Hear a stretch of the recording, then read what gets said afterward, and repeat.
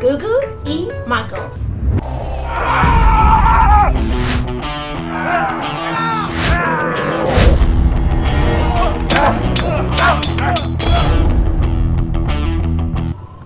This 50-50 with women, I, I know I I'm gonna catch a lot of flack, but I'm gonna say it.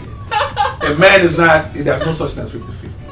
Yeah, In a marriage, someone has to lead. I like that. You understand what I'm saying? Mm-hmm. It, it, it doesn't work that way. I like that. If you're gonna be a man, be a man. Yeah. She's she's taking your last name, not you taking her. I made him Nigerian.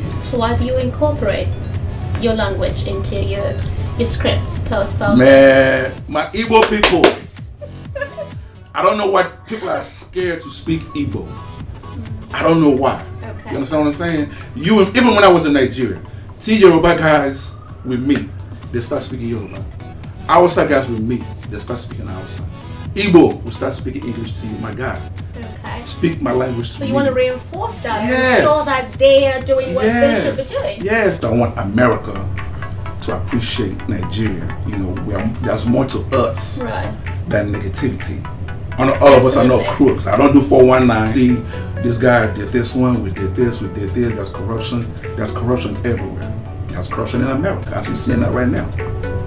So why is it negativity that someone else, every time you hear Nigeria, oh my God, I, oh you guys, you guys, why? I should be watching out for you, America. I just built a new studio, AP Studio, if I may plug in my company, AP Studio. The Nigerian. Oh my oh, god, oh, yeah, yeah, man. It used to be shallow, but I, you know, and you know, if you didn't look like Halle Berry, I wouldn't. Ah! No, no, no. Let me finish. Let me finish. Let me finish. what? I'm touching stones now. I only dated. Call them video vixens.